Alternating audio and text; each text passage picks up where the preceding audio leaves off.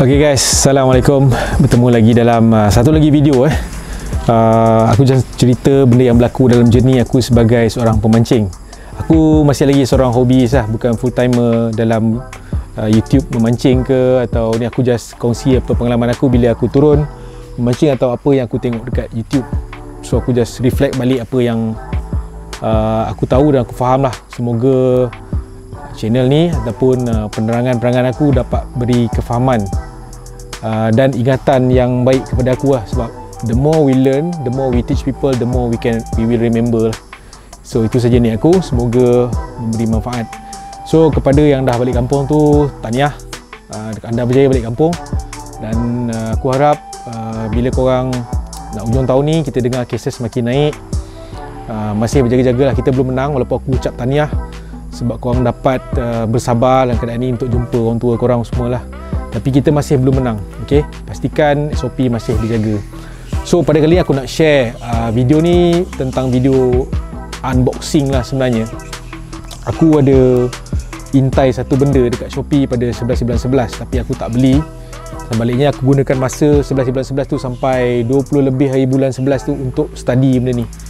Sebab kebanyakan mistake yang aku bel, uh, buat masa-masa lepas bila aku tengok dan aku terus pergi ke Shopee lah So barangnya dah ada sini, dah sampai ni So aku tunjuk jap. Okay, barang ni panjang. Okay, kotak dia segitiga macam ni. Ha, So kalau korang memang orang yang memancing Korang tahulah apa benda dalam ni eh. Okay, dia tak panjang sangat tengok. Dia tak panjang sangat.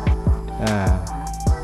Kalau aku letak kat pinggang aku ni dalam Parai pinggang lah Parai pinggang, bawah sikit dia pinggang. Okay, selamat sampai tadi. Terima kasih. Shopee Express. Sebab uh, menghandle bungkusan ni dengan baik. So aku dah sediakan pisau. Jom kita buka. Jom kita buka sama eh. So packing dia baik.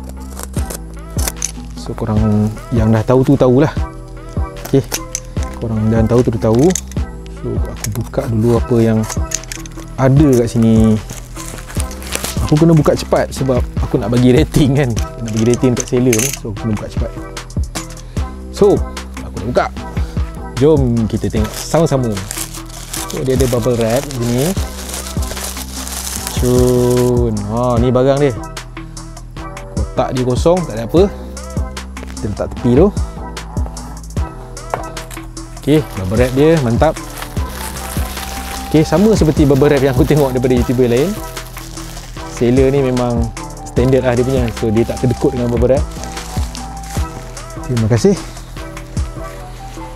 dan inilah barang dia. Inilah barang dia. Ha, tengok sini. Ni aku tunjuk dulu. Empat kaki 6 inci.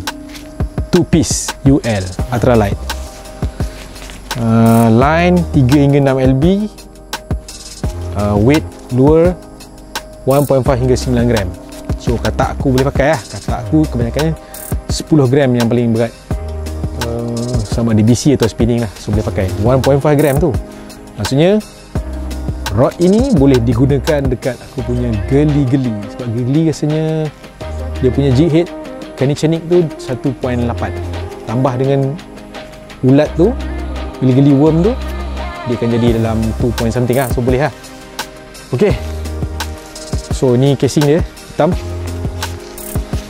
Ok sini ada ada velcro. lah ok ada velcro jom kita keluarkan sama-sama. Ok so dia ada keluar aku keluarkan tip dulu eh. Keluarkan tip dulu. Wih halus bang. Apa? Ada berapa ring uh, dia punya ni apa nama aku panggil cincin ni. Cincin dia ada 1 2 3 4 5 6 7 so 7 so dekat dia punya dia punya apa belakang dia ni handle dia ni mesti ada satu lagi. Biasa 8 wow memang halus guys. Halus gila. So tak bawah lah eh.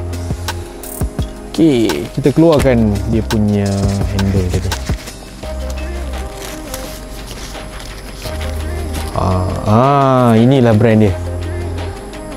Le Moren ke Moren ok ha, aku tengok ada orang pancing pakai ni lah so aku macam aku tunjuk kenapa aku beli rod ni ha, nampak tak ni? Ni lah antara sebab dia. Tada. Alhamdulillah. Seperti yang aku order ok bila nampak dia punya cangkuk kat bawah ni so meaning to say dia lah untuk bed casting. So aku akan pairkan dia kat bed casting punya reel lah. BC mesin atas. So macam aku jangka tadi kat sini ada satu uh, ring lah. Guide. Uh, guide. Ring guide ni. So dekat second half of ni dia ada tujuh. Campur ni dia lapan. Ok jom kita tengok lebih detail lah. Yang membuatkan aku uh, teringin nak ada rod ni dua sebab. Satu ini adalah design uh, menggunakan kayu cork. Cork wood. Ok cork wood ni memang nampak mahal lah. Ok nampak mahal cork wood ni. Jadi dia macam cork wood ni kalau korang tak pernah tengok lah, korang bukan orang yang biasa dengar perkataan ni um, macam gabus tutup botol tu kan? Kalau ada botol rempah ah ha, tu benda tu. So dia pakai kayu tu lah. Kalau dia pakai kayu lain aku minta maaf tapi aku rasa ya dah ni. Kemudian kat sini dia ada gambar. Nampak tak ni guys? Kamera zoom sikit. Gambar scorpion. Ok memang ni uh, lambang limoren mungkin bahasa Cina kot limoren tu scorpion dia punya kat sana lah. Ok dekat sini. Uh, dia tulis lah sini 462 so aku beli rod ni yang paling pendek uh, 137 cm ok aku plan untuk um, rod ni harga dia okay, before tu rod ni harga dia RM37 ok kita bantai voucher free shipping. So kita dapat lah ok then rod ni aku plan nak belasah dekat stream sungai atau tempat-tempat yang berselut-selut lah. Ok so kita cuba sambungkan dia. Sebab banyak orang komplain bila dia orang aku was-was nak beli ni sebab banyak orang komplain dia beli dan dia orang sekali patah ring patah dan aku harap benda tu tak terjadi kat aku lah. So lepas aku try rod ini nanti ok aku akan uh, review lagi lah. So aku dah sambung dah guys. Oh dia punya ni memang Sekejap aku test. Ini Fast action jugalah ni. Dia punya ni cepat kembali. Dia punya tu getaran dia tu. So tinggi dia Kalau aku berdiri ni. Uh, Just nice. Uh, Just nice. ni. Betul-betul Dekat ketiak ni. Senang lah. So aku tak tak perlu Kalau tempat tu tak mengizinkan untuk Overhead cast aku akan cast dia uh, underhand uh, skipping ke apa ke atau backhand underhand atau aku punya apa yang bawah tu lah drive yang bawah tu. So kalau untuk kayak fishing mungkin sesuai kayak fishing kalau target macam PB PB kecil boleh lah. Tapi aku tak pasti sebab dia punya rod ni halus kan halus. Dan mungkin dekat YouTube oh ya yeah, aku dah nampak satu YouTuber fishing dekat Langkawi. Dia pancing siakap. Pakai rod ni dia pair dengan rasanya dari TCE juga tu. Um, sorry kalau aku tersilap. Um, siapa, apa nama rod uh, reel dia pakai tu rasa Aji King Tycoon warna hijau hijau Petronas. Ok so aku akan pairkan dengan aku punya reel Aji King lah. So aku ada satu reel Aji King kat sini. Ok ni real Ajikin aku yang awal-awal. Ini ratio 7.5 to 1 But quite fast fast jugalah. And ini dah aku dah equipkan dengan tali 10 LB so rod ni dia perlukan maksimum 6 LB kemungkinan aku akan tukar lah akan tukar sebab aku maintain je lah 10 ni. Boleh je sebenarnya. Dia hanya bagi guideline. Dia boleh boleh sebenarnya. Aku biasa nampak je orang dia as long as dia tak lari sangat. Contoh dia kata 6LB tiba korang pakai 20 so bila kena dengan satu uh, tarikan ikan yang kuat jadi kemungkinan ring boleh patah atau rod patah kan rod patah ok nanti aku akan pairkan uh, rail ni dekat sini. Ok ni aku punya left hand left hand uh, rail lah. Nanti aku akan buat tali dada kat dalam. Ok jom kita tengok fizikal ni eh. So fizikal ni ni plastik ni masih aku tak buka lagi. Ok aku nak tunjuk uh, satu rail aku yang satu lagi BC ok sebelum ni aku ada rail rail uh, BC jugalah. Okay, rail BC ni. Ok ni. Rail BC ni pun uh, dari Haji King 7.2 ni Haji King Atomax. Ok kalau korang tengok video unboxing sebelum ni. Uh, ni pun set-set marhain juga. Ok korang boleh cuba.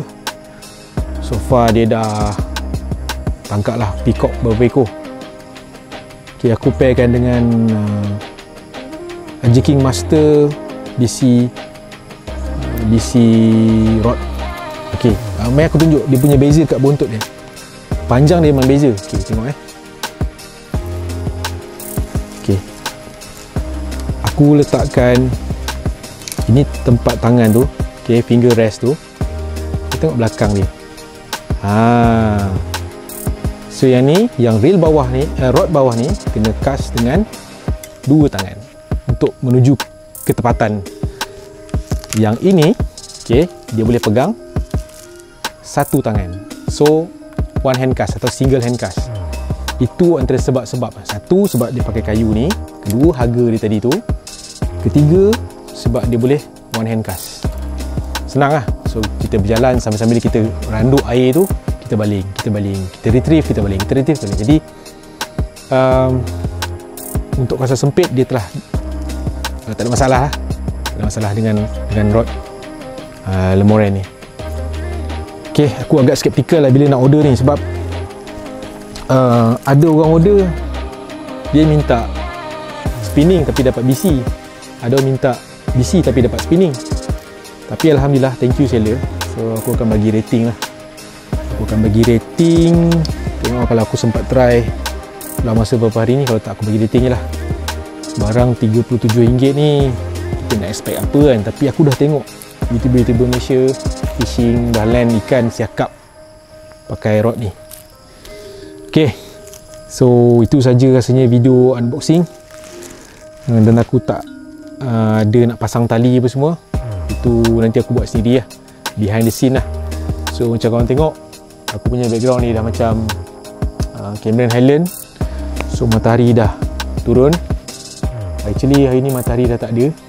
Uh, dah tak ada maksud aku dia mendung dia pagi. So light daripada tepi aku ni dah very dim lah. Sekarang dah pukul 6.40 so itu saja video untuk kali ni. Uh, terima kasih. Sebab korang menonton sampai habis semoga perkongsian aku tentang unboxing rod Limoren perbandingan secara kasar secara cepat tadi tu segera tu boleh bantu korang lah. Apa maksud hand, single handcast apa semua. So kalau ada kesempatan lagi aku akan buat video lagi. Terima kasih kerana menonton. Kalau suka video ni uh, minta tolong subscribe share komen dan like lah. Kalau ada apa-apa idea atau improvement yang ni yang boleh aku uh, lakukan pada cara penyampaian ke topik ke kan. Ok itu saja. Bye bye Assalamualaikum. Jaga diri.